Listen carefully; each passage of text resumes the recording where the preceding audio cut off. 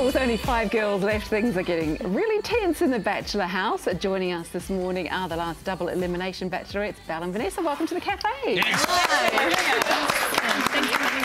Really nice to have you on the show. First of all, I've just been asking, trying to ask um, Vanessa off camera about your hair. Do you use a purple shampoo? Yeah, yeah, definitely. Wh- Which one do you Yeah. use? Um, I use L'Oreal Professional. Good. I'm always looking for ones to get Yeah. the yellow out of the hair. Anyway, we can continue now. Sorry, that was just a little side one to get out, otherwise I wouldn't have gotten. Okay, so you can be completely honest. Uh, what is it like now that you're out of the show? relief.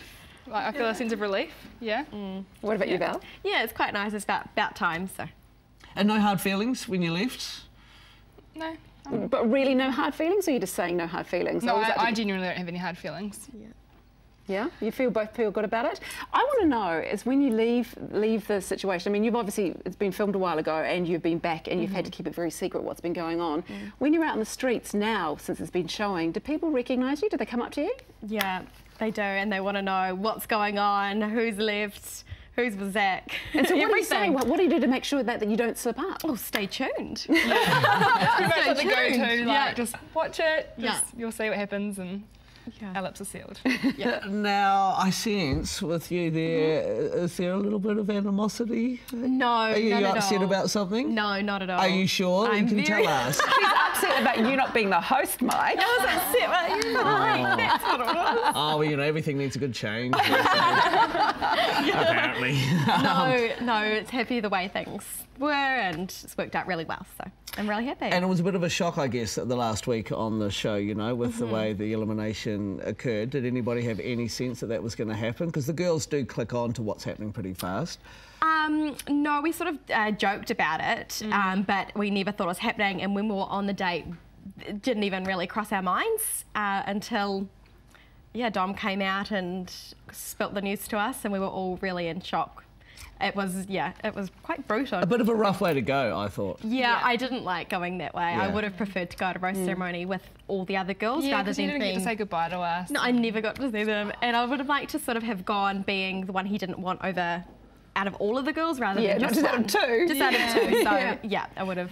Um, now, Vanessa, you were an intruder, so you came in late to the piece. Yes, yeah, um, how yeah. did you find it? Did which of the bachelorettes accepted you the most or the quickest? Um, Bel. Really? Yeah, yeah. So we've become like yeah good friends on the show, and like we're, we're going to say friends, and um, yeah, she was just super nice because obviously all the girls had already figured out how filming works and how everything happens, and like the process and the method and the schedule, and we kind of kind of come in and we're like. What, what's everyone doing? What's going on? And they Bel mm. like, oh, do this and do that, and like, we're Smile over there. Yeah, yeah, yeah. So she kind of yeah gave us lots of advice and just made us feel really welcome. Now, Excellent. you know, reading everything and watching as well, Zac seems like a very genuinely nice guy. Yeah. But mm-hmm. out of the three seasons, would you prefer to be on the Art Show, the Jordan Show, or the Zac Show? That's a hard one. The art show. yeah, but if Matilda was on there still, there would be no chance. Yeah. They would just hurt it from the beginning. They are. Yeah. Um, probably the art. show. oh, okay. Very sorry. sorry. Original. no, no, but that's all right. You're allowed to be honest because that's the thing with the show. You either have a connection or you don't. And the yeah. longer you're in there, the more you can see whether that happens. And when you get ousted, it's kind of like, oh, well, gave it a shot, nothing happened, nothing, Yeah. nothing Yeah. to lose, Really, It's a pretty Exactly. slim chance of finding love. Like I, that's what we wanted to get out of mm-hmm. it. But the chances of it, like you can go on like five or ten dates, and you're like, no, no, no, no, no.